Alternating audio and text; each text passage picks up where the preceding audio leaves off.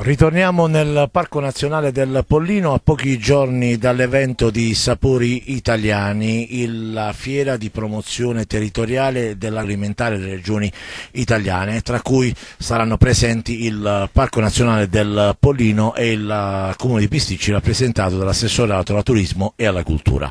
Ma andiamo a focalizzare in questo splendido polmone verde con il vicepresidente Franco Fiore. Bentornato alle nostre telecamere, Fiore. Salve, buongiorno.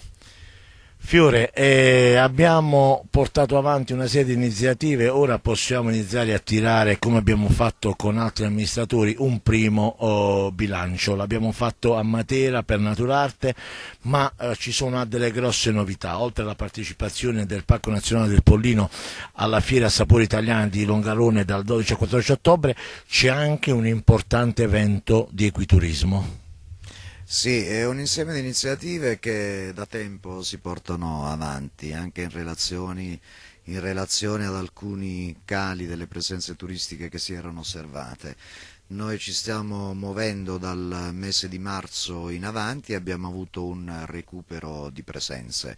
Ha fatto cenno a Naturarte che è stato senz'altro un progetto significativo, però abbiamo avviato anche un insieme di eventi eh, correlati al Piot Natura Cultura in eh, coordinamento tra Parco del Pollino, APT, Comune di San Severino Lucano, che hanno visto lo svolgersi di momenti elementi eh, riguardanti l'agroalimentare nelle varie comunità del Pollino Lucano, eh, concentrando e incentrando l'attenzione sulle tipicità agroalimentari di queste, di queste aree.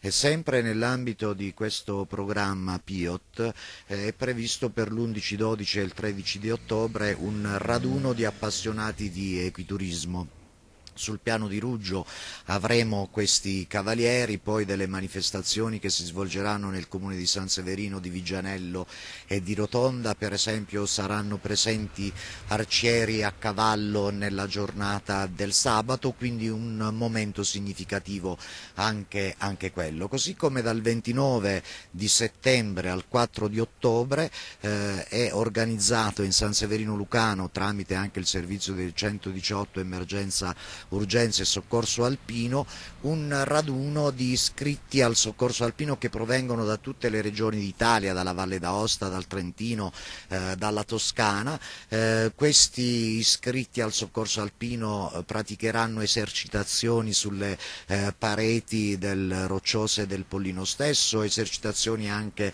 eh, tramite eh, elicottero, in elicottero e mh, mm, quindi anche questo sarà un momento significativo e di promozione promozione del territorio del Pollino stesso.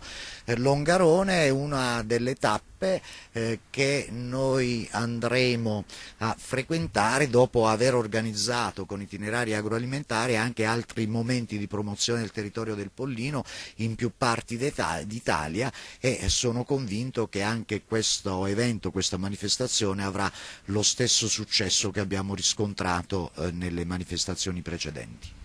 In conclusione Fiore, un appello e uno slogan, soprattutto per l'autunno e inverno nel Parco Nazionale Polin. Qual è lo slogan del vicepresidente? Non demordere, eh, è sempre essenziale il discorso di collaborazione fra le varie istituzioni, è necessario che anche comunque le istituzioni cooperino con eh, gli operatori turistici del territorio e insieme bisogna individuare eh, programmi, progetti giusti di sviluppo e programmi e progetti giusti di comunicazione e di promozione.